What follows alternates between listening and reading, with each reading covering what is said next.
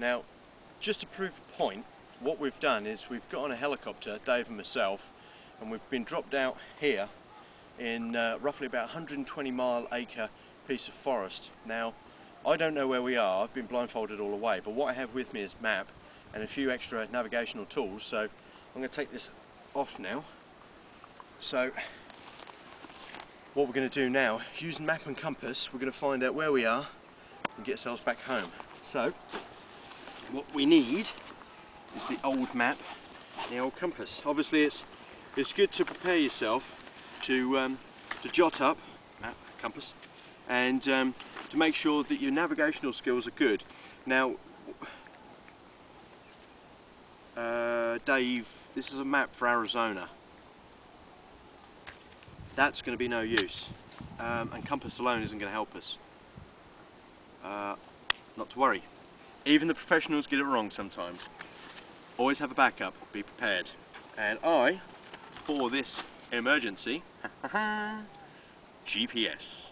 Now all you need is three satellites and it'll cover the earth and find you wherever you are. Now, I've already pre, I knew roughly where we were going to be, obviously. I mean, come on, this is television.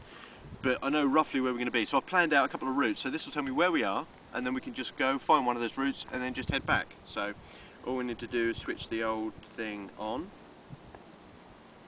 which is not switching on. Check the batteries. Dave no batteries. Where are the batteries Dave? What do you mean you Game Boy? 200 piece of junk without batteries Dave. Arizona map 200 piece of junk 200 pound piece of junk but don't worry, I'm not annoyed, and I'll tell you why.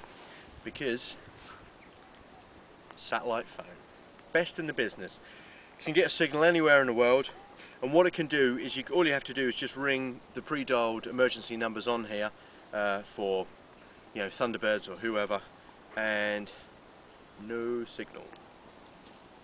No signal.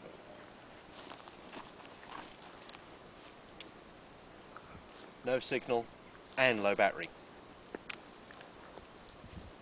Dave, we're bollocksed.